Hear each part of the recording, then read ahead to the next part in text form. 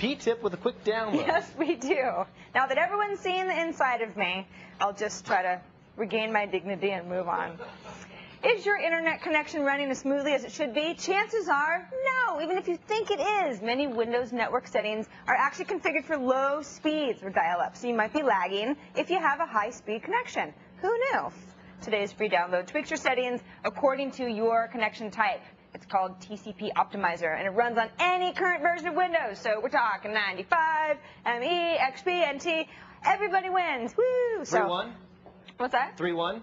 No. Not 3-1. Not okay. 3 1. You said that's Sorry. a version of Windows. Not 3 1. Will you be quiet? Okay, sorry. All right. Anyway, here we are looking at TCP Optimizer. Now, it's just an executable. You don't even have to install it, so that's kind of nice. I, I haven't run into one of those lately. What you do, here's the easy way to use it. You've got these choices up here at the top. Dial-up, DSL, DSL, PPPoE, cable modem, or extreme. We're on a T1 here, so I'll just say extreme. And we've got all of these settings here. And if you're, if you're just going to use the optimizer uh, the way they want you to use it, they don't even want you to care about what, what these settings are. They just want to know what kind of connection do you have. It will choose your network adapter.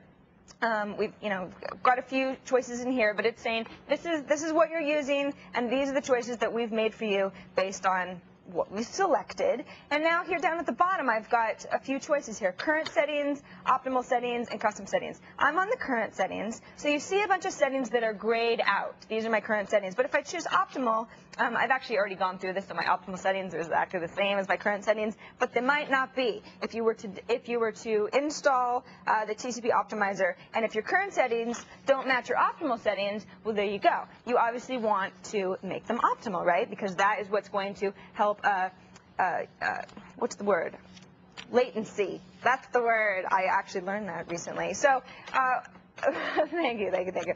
So optimal settings, once you have your optimal settings, you can just apply your changes. What that's going to do is make a bunch of changes in your registry. This program doesn't do anything too crazy except change a lot of things in your registry that you might, you, know, you might not know where they are, you might not know how to find them. Anyway, if you choose custom settings, now this is where it gets a little bit trickier. Um, I really don't recommend you do this unless you're familiar with TCP/IP settings. Um, I am really not, you know, much of an expert, so I didn't screw around with this at all. You know, time to live, black hole detect, max duplicate, ACKs, all that stuff. You may know a lot about that, and that th this gives you the option to tweak it yourself. Um, up in the top, there's a few more tabs. You've got other settings to optimize Internet Explorer, how many connections you have per server, um, so on and so forth. Uh, you can, you know, check ping times on you know variety of sites. And then in the registry area, here is it gives you a, a, nice option to tweak the registry through this interface. As you've seen, I've done a lot of registry tweaks. It can be a little crazy. This just gives you a different uh, interface, basically. Now, like I said, the optimizer is totally free, totally rocks the house on any system. So either you spiff up your internet experience considerably, or you're just going to find out that you're already okay. It's a, pretty much a win-win situation. So go to my download of the day article, get it for yourself, and report back to me. Are you good or are you lagging? That's it from me, guys. What's coming up?